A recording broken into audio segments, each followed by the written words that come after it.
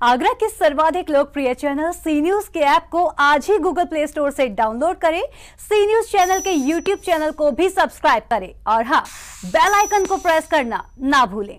ताजनगरी में धीरे धीरे शहर की ऐतिहासिक इमारतों को निहारने के लिए पर्यटकों की संख्या में लगातार इजाफा हो रहा है, लेकिन ऑनलाइन टिकट के दौरान हो रही परेशानियों के चलते पर्यटकों को काफ़ी दिक्कतों का सामना करना पड़ रहा है, जिसकी वजह से पर्यटक स्मारक का दीदार किए बिना ही वापस लौट रहे हैं। ताजनगरी में धीरे धीरे शहर की ऐतिहासिक इमारतों को निहारने के लिए पर्यटकों की संख्या में इजाफा हो रहा है।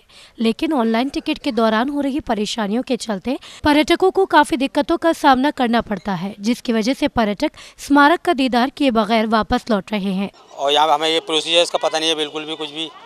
और ये, वो कह रहे हैं पेटीएम से करिए पेटीएम हमारे पास है नहीं। अब पहले तो प्रोसीजर नहीं पता इसका। तो हमें बड़ी परेशानी हो रही है।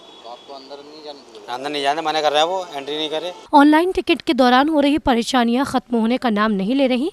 ताजनगरी में स्मारकों का दीदार करने आए पर्यटक जब ऑनलाइन टिकट बुक करते हैं तो काफ़ी परेशानियों का सामना करना पड़ता है।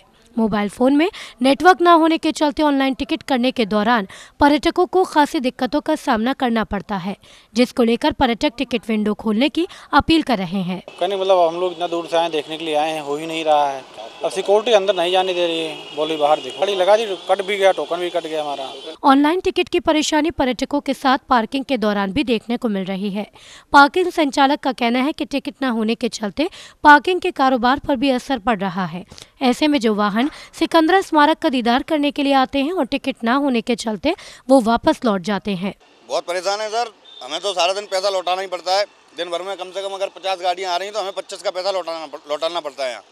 अस्सी रुपये की पार्किंग है कार की और सबसे ज़्यादा यहाँ थोड़ा ग्रामीण क्षेत्र जो पर्यटक आता है, उसके पास ऑनलाइन की व्यवस्था होती नहीं है, वो ऑनलाइन टिकट नहीं कर पाता है, हमारी पार्किंग गेट पर कट जाती है और फिर वो हमसे बाद में पैसे माँगता है, हमें वापस करने पड़ते हैं।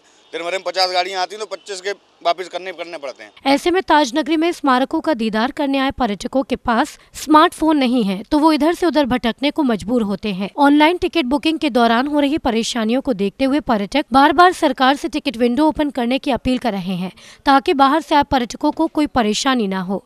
सी न्यूज़ के लिए गोपाल शर्मा की रिपोर्ट।